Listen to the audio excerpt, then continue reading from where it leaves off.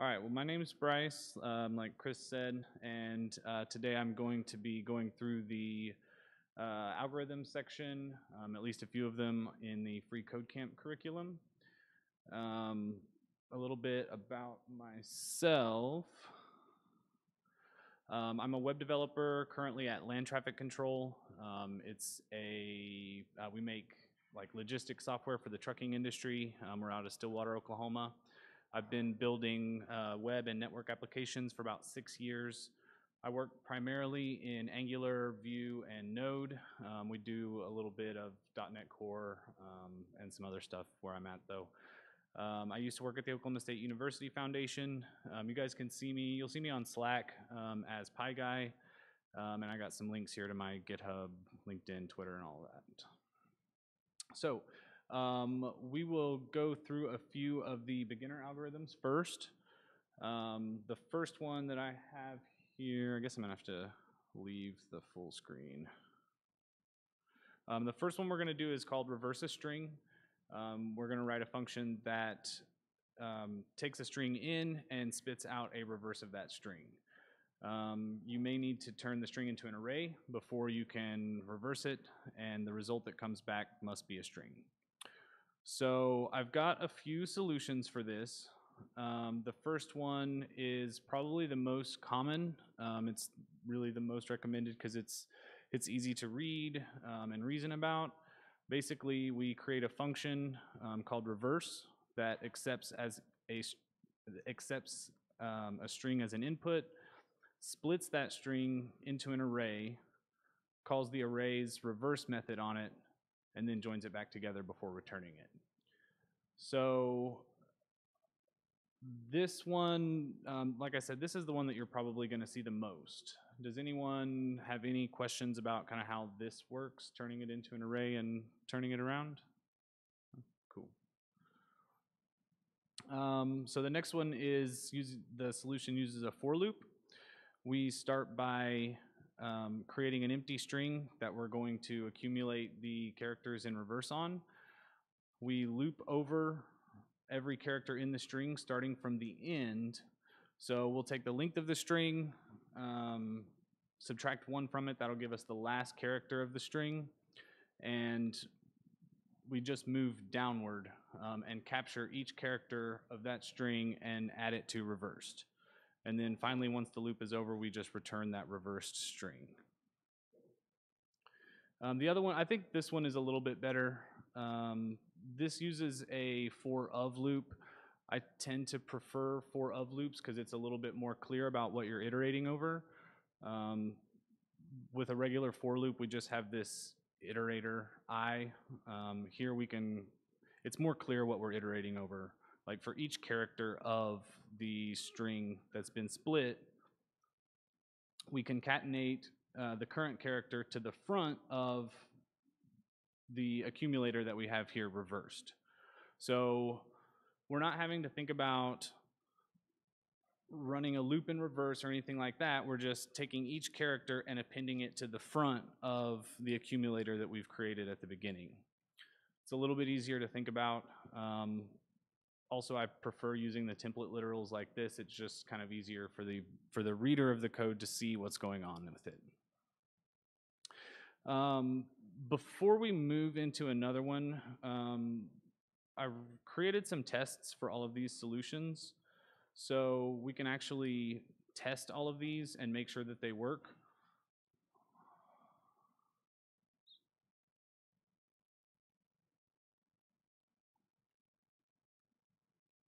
Can you guys read this terminal output? It's probably easier to do it here.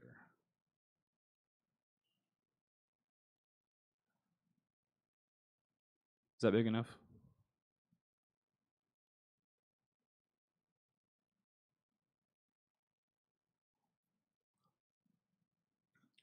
Okay, um, so here, I guess it's probably easy if we look at the tests also.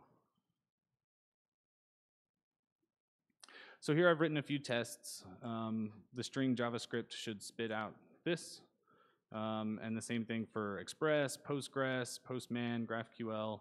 Um, we've written tests for all of the functions that we're going to go over today. Uh, there's also a branch, if you clone this repository, you can check out the practice branch and it will have all of these functions with no code inside of them. So if you wanted to go through and kind of fill them out yourself, you can run it pretty easily um, by just running the npm test command. Um, the repository,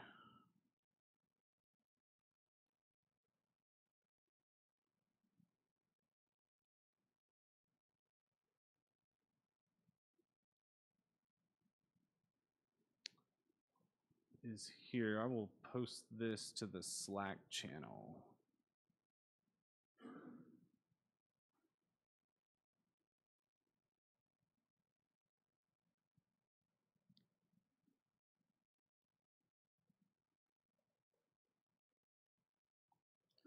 Okay, um, so there's a link to the repository. If you want to clone this and check out the practice branch and kind of fill any of these in yourself, you can run the tests and you can determine is my solution correct or not.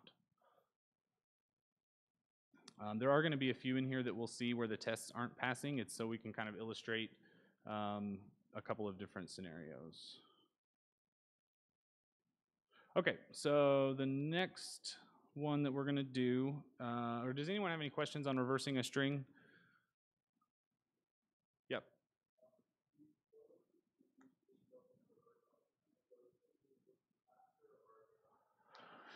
Yeah, so he wants to know um, with the for loop versus the split and reverse function, which one of those is going to be faster? Um, the for loop should be faster. It should also be more memory efficient because we're not having to create a new array.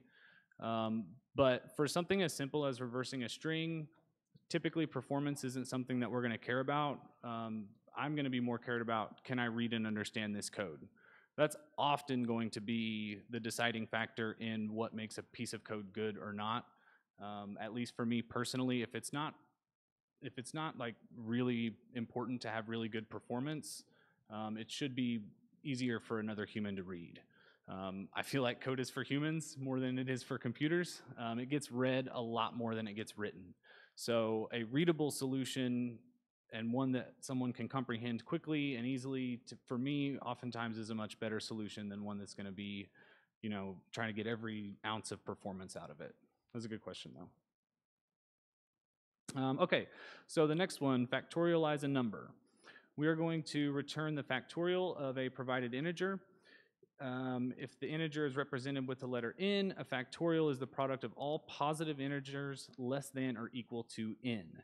Factorials are often represented with the shorthand notation of n bang or n exclamation mark. For example, 5 factorial is 1 times 2 times 3 times 4 times 5, which equals 120. Only integers greater than or equal to 0 will be supplied to the function. And this is just the uh, text out of the question from the curriculum on the website. Um, any there's they have some tests in there as well you know when you fill out your solutions they'll run some tests. Uh, my test cases are a little bit different um, but they should they should all still be the the same. Okay so factorialize is here. Okay so the first solution here uses a while loop. We initialize the factorial result to 1 then we loop over um, while num is greater than 1 set the factorial to the result of factorial times num, and then decrement num by 1, then return the result. So here we're starting at the end. We're starting at the current number and decrementing it downwards until we get to 1. And really, since we started off at 1, we could really change this to 2 and it would be the same. But this, I think, is just easier to read and understand.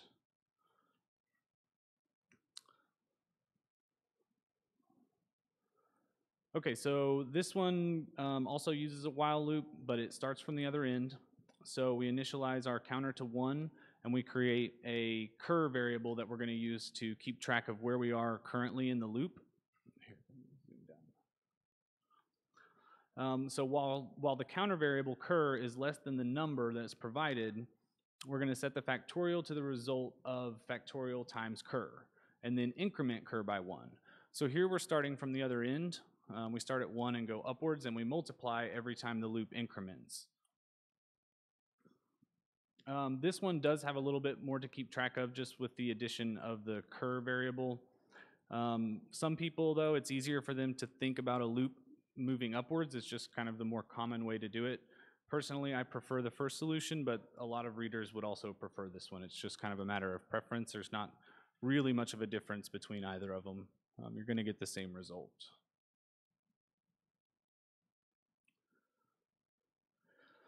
Okay, so this can also be solved with reduce. Um, has anyone, have you guys used map, reduce, and filter before? Can show of hands if you've used these functions before?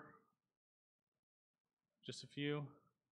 Okay, um, I think maybe better to just skip reduce. It's kind of a difficult one to wrap your head around.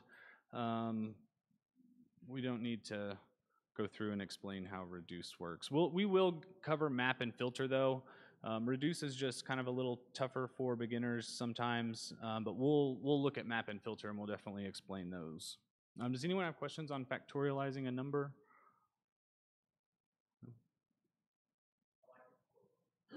Which one? Which? Oh, yeah.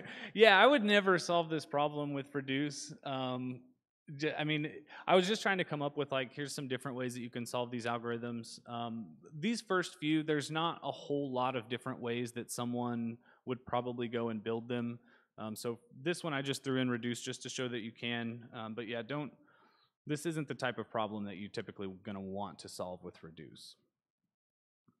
Okay, so the next one is confirm the ending. We're going to check if a string, the first argument to our function, ends with the given target string, um, which will be the second argument. Um, this challenge can be solved with the ends with method, which was introduced in ES 2015. But for the purpose of this challenge, we would like you to use one of the JavaScript substring methods instead.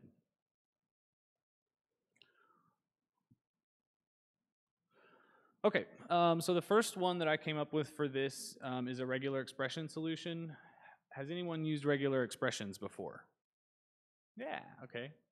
Um, regex is a lot of fun. Um, I love using regex for things like this because we know, especially for this question, we know it's going to be at the end. Um, so really, we can just use the uh, the dollar sign character, which represents the end of a string, and then use the submitted target string stick it right in there before that, and then run the regular expression dot test method. Um, this is a really, really easy to read and understand solution to this problem. Um, this would probably be the one that I would go with. Um, yeah. Um, so we can also use last index of. We're going to find the last index of the substring within the string. If it doesn't exist, then obviously the string doesn't end with it. We can return false if the length of the string minus the last index of the substring is equal to the substring length, then we'll return true. So basically, we're just checking to make sure if this, if the submitted string is present and at the very end of the of the target string that we're comparing against. So here, last index of, um, if it returns a negative one, that means that the string wasn't found. Um, there's also an index of method on strings where you would call like this str.index of and then the substring that you want to check. It will always return the first index at which that string appears within the substring.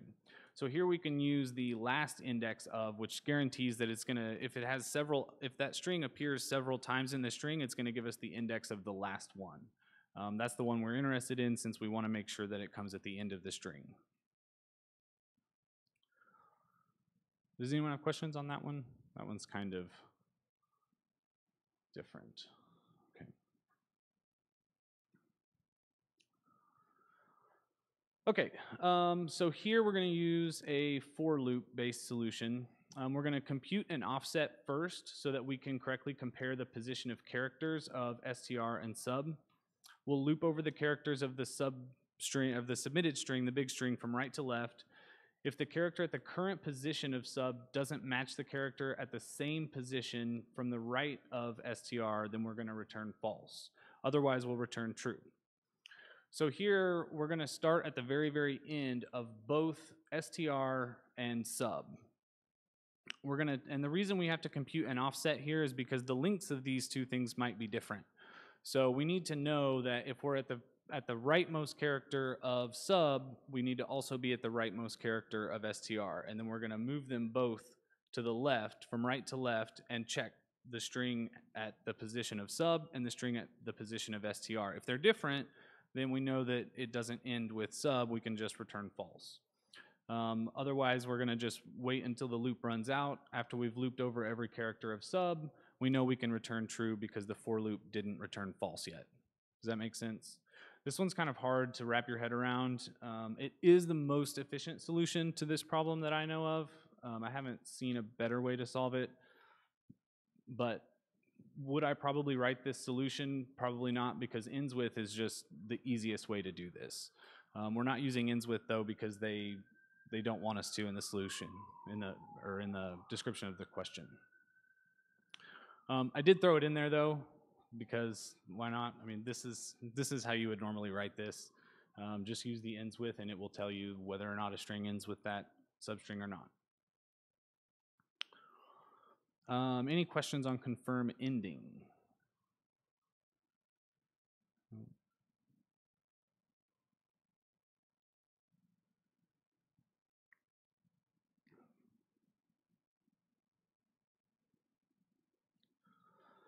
Okay, uh, repeat a string, repeat a string. Here we are going to repeat a given string um, for n times and return an empty string if num is not a positive number.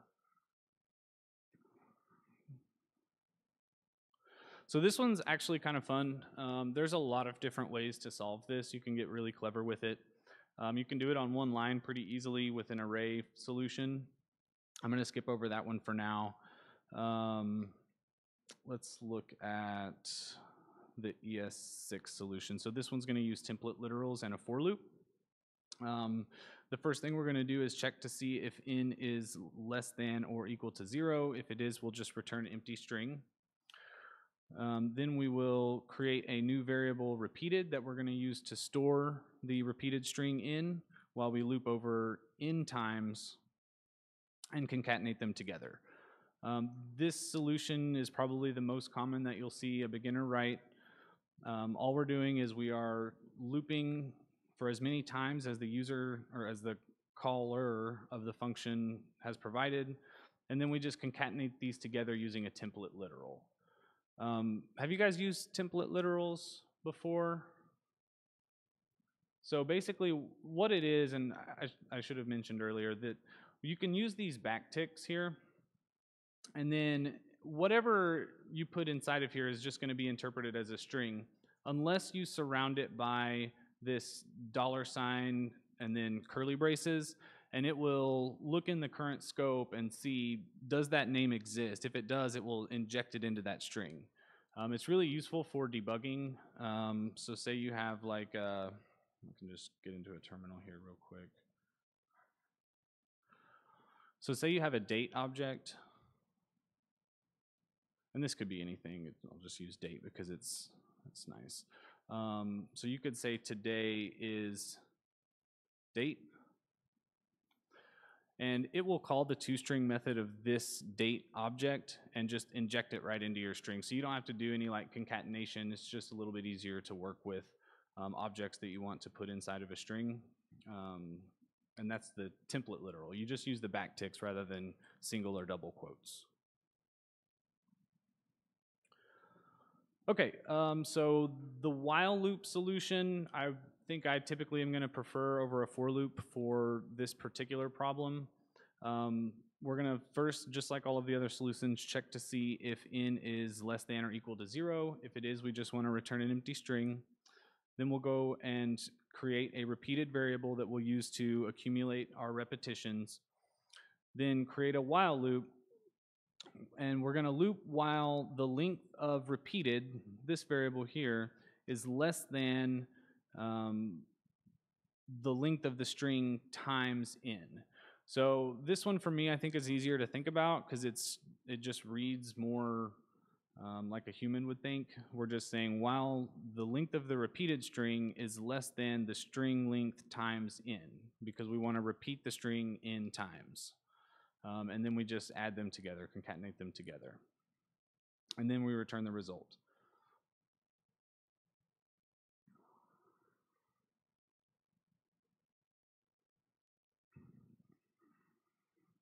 This, okay, so this one here is a for loop. Um, it's just like the while loop where um, we're just looping in times and then concatenate, concatenating them together and then returning it.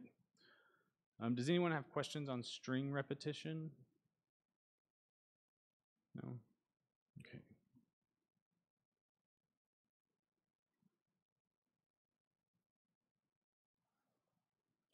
Okay, this one, Boo who. Um, we're going to check if a value is classified as a Boolean, return true or false. Boolean primitives are true and false. So here we're going to use the type of operator to determine is the thing passed into the function a Boolean.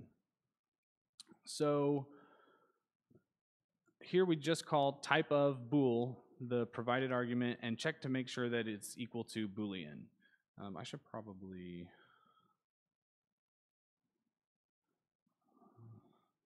I didn't think. So I use the that Fira Code font, um, and it's got the code ligatures. It's hard to tell like what it is that I've typed there. Um, really quickly, it's called Fira Code. Um, I really like it. It, make, it makes it really obvious, like that this is an arrow function, or this is a triple equals, or a not equals. But if you haven't seen it before, it can look confusing.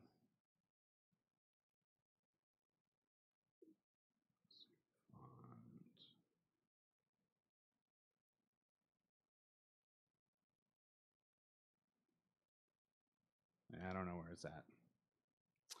Anyway, okay, so this is a triple equals sign though. Um, we're just checking to see if the result of the type of operator is equal to Boolean.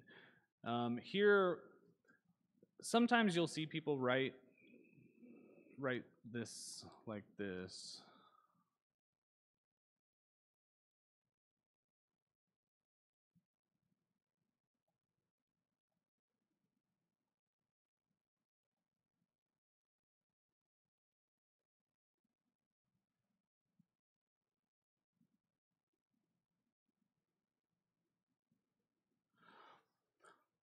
So these two functions are exactly the same.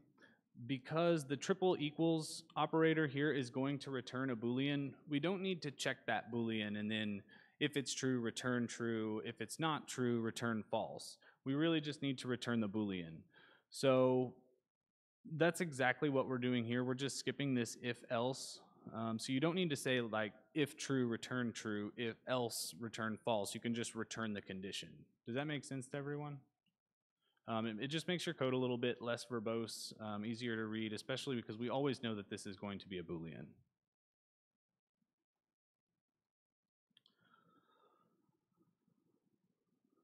Okay, so in this example, we're going to use the object prototype um, and the toString method to determine what type a thing is. Um, this solution is a bit overkill for figuring out if a thing is a Boolean or not, but sometimes it can be a lot more useful for figuring out other types of things. So when you do a type of on a date object, for instance, it's going to tell you that that date is an object. It won't tell you that that date is a date object. So using the object prototype toString method will give us more information about what type of thing this is. Um, in this case, we're, we're still checking to see is this a Boolean or not, um, but using the, um, using the object prototype to string sometimes can be a lot more useful for us to figure out what a thing is.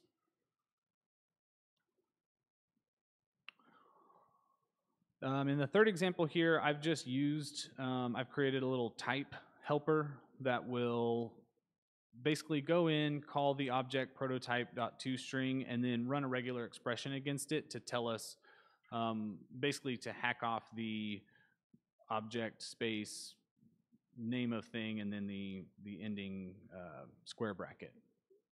So this is just using another helper that I've written to get some of this code out of the way. Does anyone have questions on those? Okay.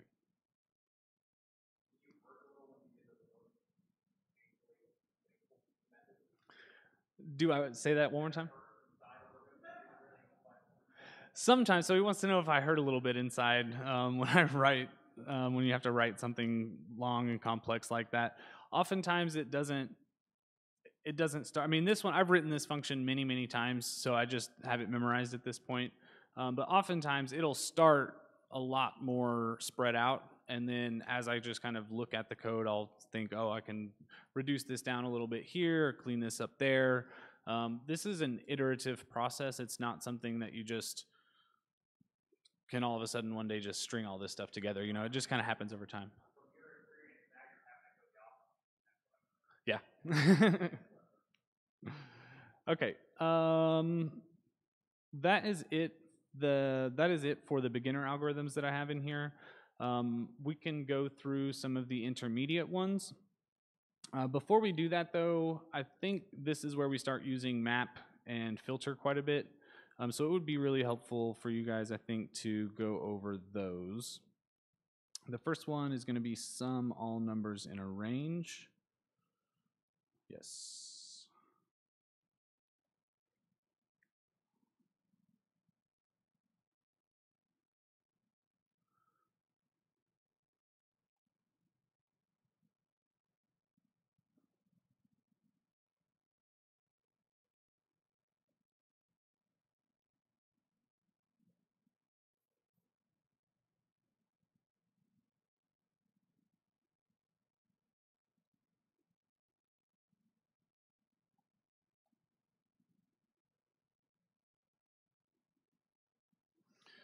Okay, so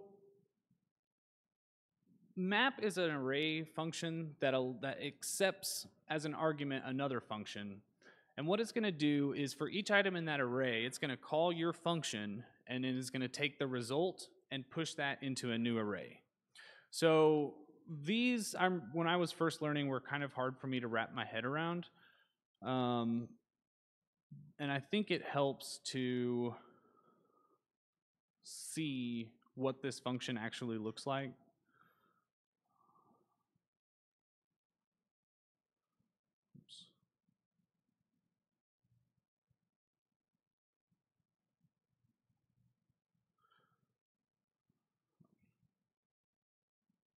Let's type a plus there.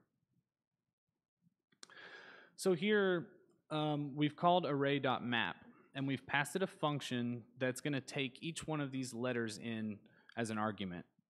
And then from that function, we return the letter plus ZZ. So the result we end up with is A plus ZZ, B plus ZZ, C plus ZZ, and this gives us a new array.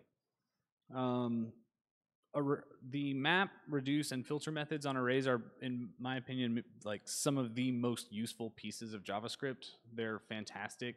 Um, there's hardly any time I'm going to be working with arrays that we don't use these methods. They're just really, really useful, especially when you have some piece of data that you need, like some array of things that you need to turn into something else or just change the data slightly. Um, these are really, really helpful methods for you to use.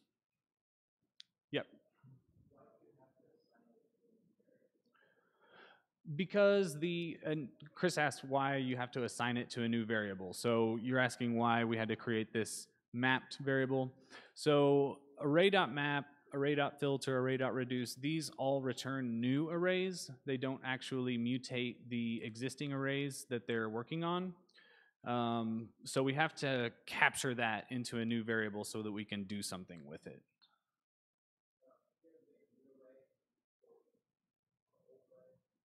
Yeah, yeah, yeah.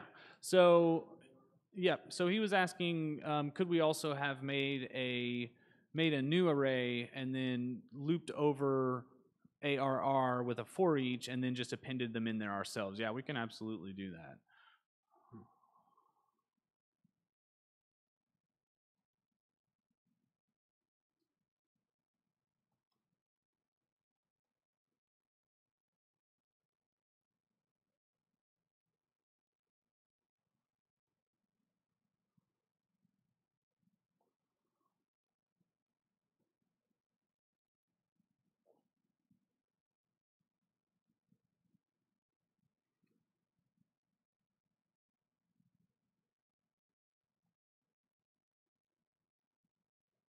So here we're doing the exact same thing, only we're using a for each loop to achieve the same result. I, the it's oftentimes just cleaner to use the mapped the, to use the array dot map.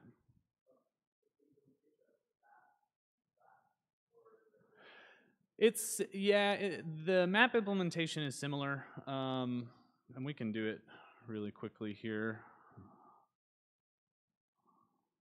Um, let's see. So map is going to take, and we'll call it callback, make it a little easier. So map works off of the array prototype, um, but here we'll have ours accept an array as an argument so that we're not overriding the map, um, the native map function. So what we're going to do is we create a, a new array. We'll call it return array.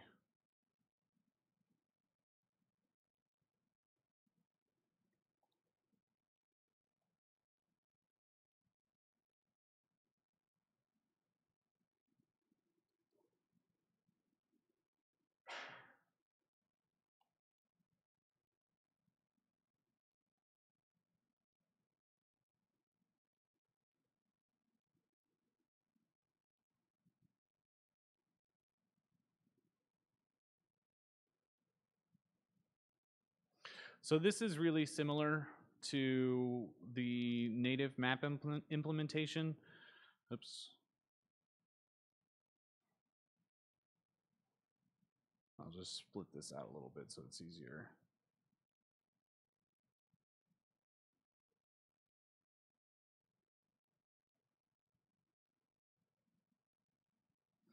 So here, this map function accepts as an argument um, the first item is going to be the array that you're wanting to map, and then a callback function, which is going to get called for each item that's in that loop.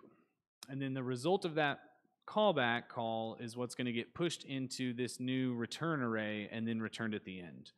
Um, and we can use this here really quickly. Let's see, array.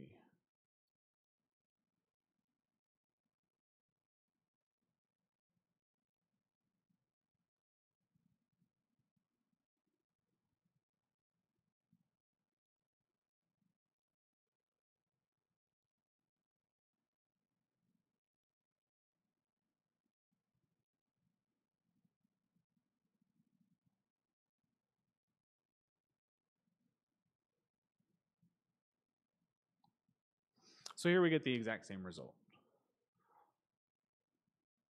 Cool, those are good questions. Um, does anyone else have any questions about map in general? Um, super useful function.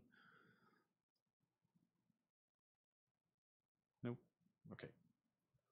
Um, so before we move back into the intermediate algorithms, let's look at filter really quickly. Um, so filter is going to be a function that um, it also works off of an array, and you return a condition for each item in that array. If that condition is true, the item is kept in the new array. If it's false, it's excluded. So here, and let's let's do this.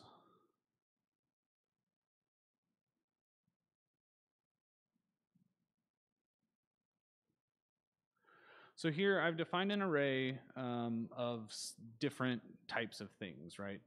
Um, we can create a new array from the original array, and we'll call the filter method, which is going to accept a function, and that function is going to accept an item.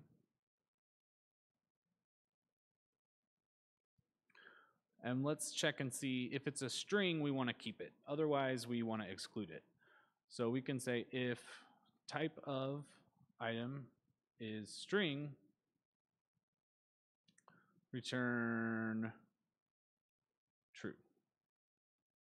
Otherwise, return false.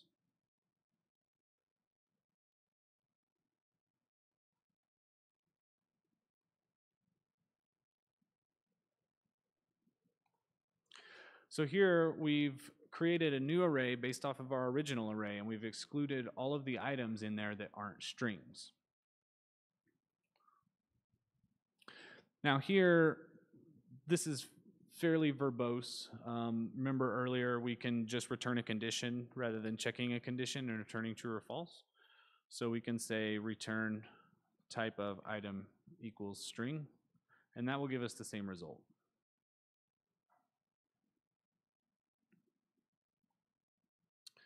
We can reduce it down further by using an arrow function.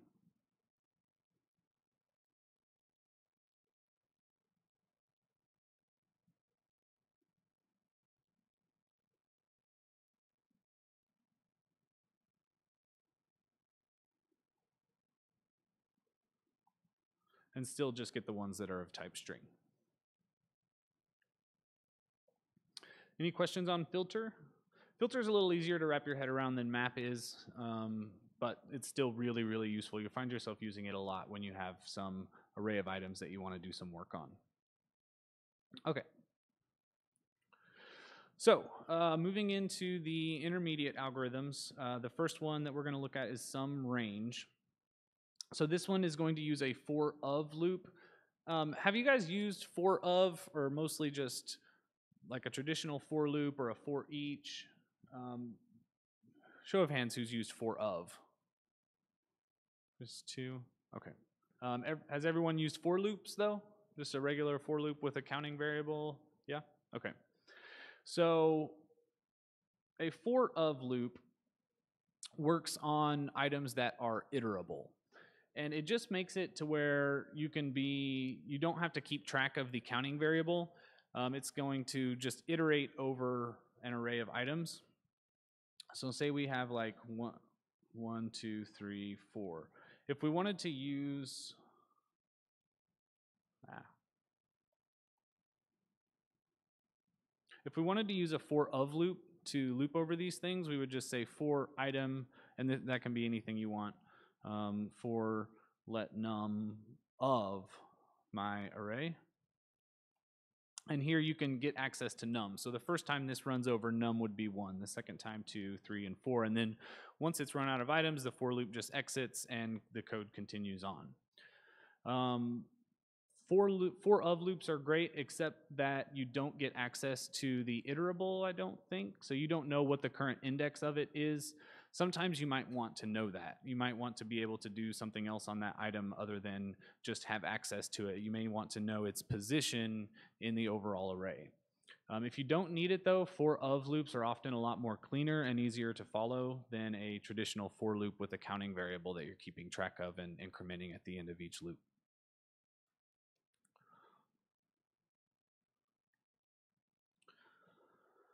Okay, so our goal here is to take in a range of numbers. Um, they're going to get passed in in an array with the first number being where we start and the second number being where we end. So here range is going to look something like this where it's going to pass in a 1 and a 5. We need to get all of the items in that range, 1, 2, 3, 4, and 5, and then sum them all together. So to make this um, a little bit easier, I wrote a helper function called underscore range that I can just pass that to and get back the range of numbers. And it's here at the bottom. Um, we can read through it really quickly.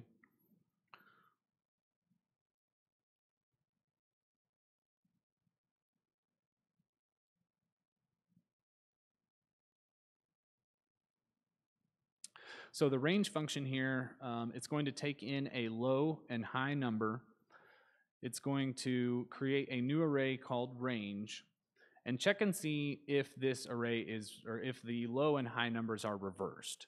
So because it, I think the question, it doesn't tell us that the low number is necessarily always going to come first. It may come at the end. All we know is we have a range of numbers and we need to figure out the sum of all the numbers in between, but we can't just start at the low number and go to high. If they're reversed, we need to figure that out first, right?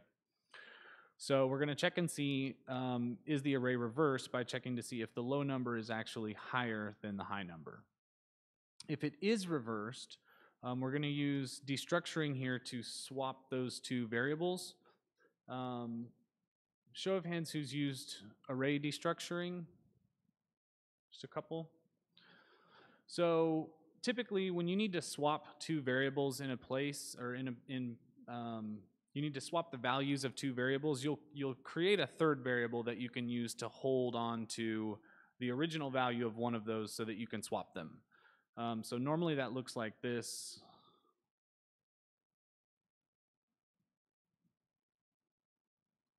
Oh, we're going to just say let temp. And we can say low is equal to high. Temp is equal to high. No, temp is equal to low.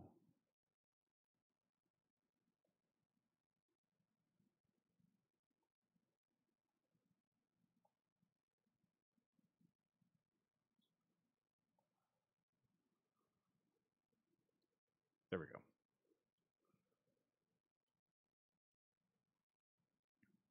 So these three lines here are equivalent to the line above.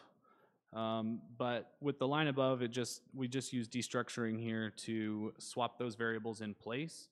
Um, without really explaining destructuring, basically what we're doing is we're putting high and low into an array, and this syntax over here allows us to grab those items out of the array by position.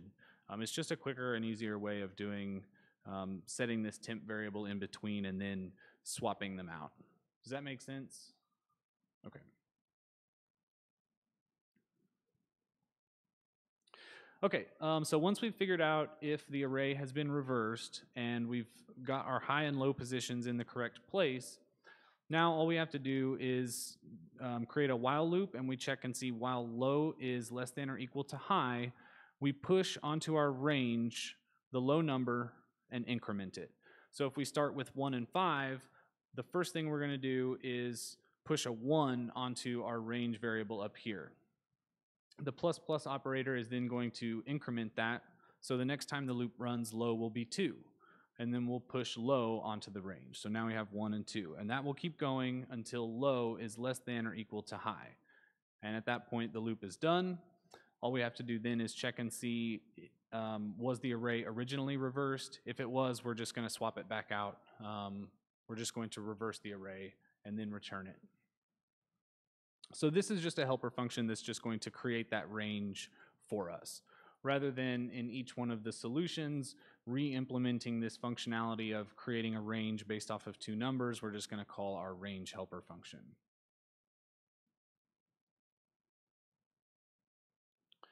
Okay, so back to the first solution. Um, we are going to set our range of, in this case, say it's back to this 1 and 5 we're going to create a new range based off of that, which is going to give us one, two, three, four, and 5, right?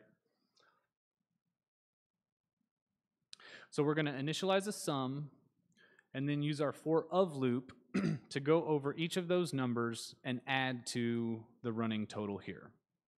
So we'll start with 1, we'll add 1 to 0, give us 1, then the next time we'll add 2, then 3, then 4, then 5, and then return the result.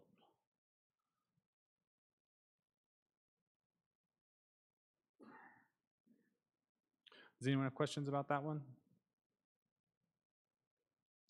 Okay.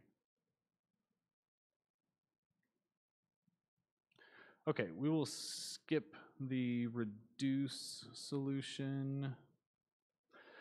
Um, so for this next solution, we're going to also use a while loop, but we're not going to use the range helper.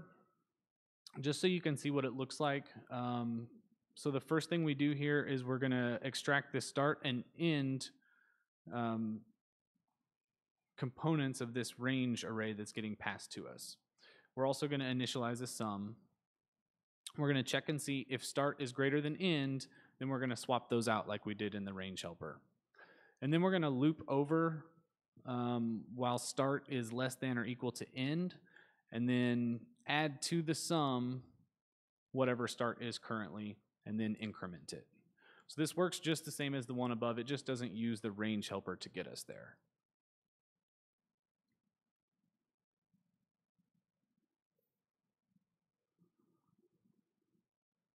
Okay, so um, this solution is nice for several reasons. Um, it's going to have the lowest memory use of all of the other solutions because it's not creating that range and storing it anywhere in memory. All it's going to do is get the low number and the high number in the correct position and then loop for each number in between them until the low number is the high number, and then it will stop. So here we're not storing any copy of a range anywhere in memory. We're just using, we're getting them in the correct position in order to loop over them.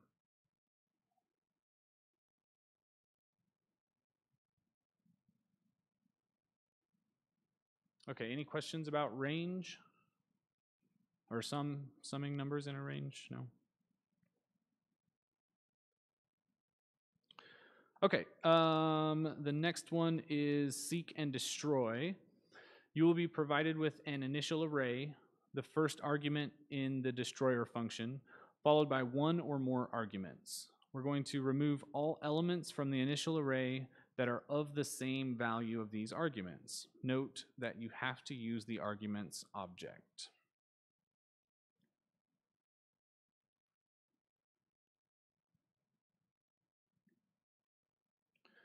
Okay, um, so here we are going to convert the arguments object. Has everyone, has anyone used that, by the way? The arguments object? It's kind of a magical piece of JavaScript that just appears in all of your function contexts. Um, anytime you have a function, you have access to this thing called arguments here.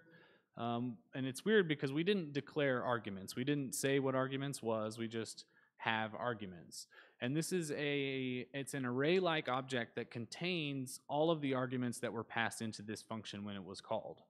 So using that, we can, even though here we're only declaring that we're going to um, take in an array item, this function could have been called with 50 different items. Um, and the arguments object is what's going to allow us to get access to those other items that were passed into the function when it was called. So here, um, what we're going to do is using the arguments are using the arguments object, we're essentially just going to turn it into an array. Um, that's what this array.slice.call does. And then here we're going to slice off the very first item um, so that we don't also capture the original array that we're supposed to be iterating over. Does that make sense to everyone?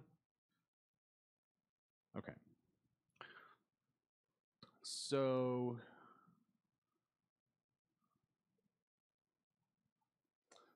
let's just take that out.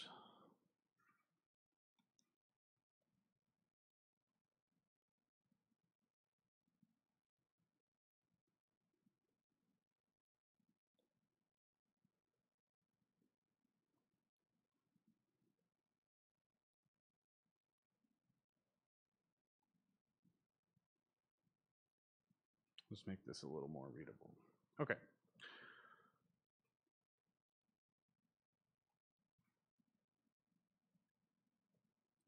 Okay, so here, um, once we've got an array of arguments that were passed in, we loop over the array that was passed, and we're going to filter out any items that aren't present in the args object.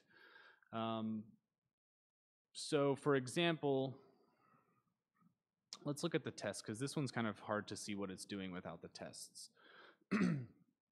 so for this first example, we're going to pass in one, two, three, and we want to remove any items in there that aren't three. And we're expecting it to return a function or to return an array of just one and two. Does that make sense what this function should be doing? So I'm going to give it an array of items and then some more items that I want to be removed from that array. In this case, it's just three. If we pass it one, two, three, and then two and three, we should just get back an array of one. Okay.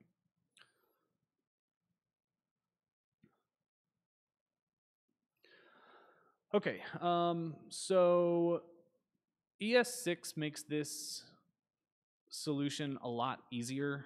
Um, in ES6, they introduced the array.from method, which here, in order to get the arguments object to look like an array, we had to use this weird array.slice.call syntax in order to turn it into an array. Um, but because it's array-like, it has like, say there's like five items in the arguments, it can turn that into an actual array of five items. So we can use that to our advantage here to call array.from and then just remove the first item out of it, which is the actual array that we're wanting to remove items from and then call the exact same filter method. This is just a lot cleaner. Um, it's, yeah, it's just a lot more readable when we can use this array.from syntax. Um, a lot more people can kind of understand what it is that that's doing um, rather than the first solution. And then we can skip the one-liner. Are we about out of time, Chris? Yeah, okay. All right, um, well, that's all I think we're gonna have time to get through today. I think I've went over three or four minutes. Um, but does anyone have any questions about any of these or just kind of JavaScript algorithms in particular? Did anyone try these before they came in today? No? Um, so if you want to try these, um, you can clone this repository and try and re-implement some of these solutions yourself. Um, you can check out the practice branch and you'll see that I've gone in, oops.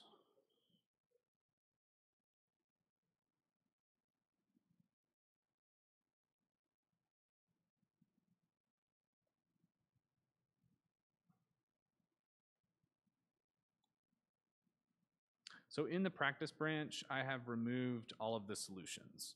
Um, I just have the functions in here. Um, so you can go in and fill in your own solutions if you want. And then if you want to test those solutions,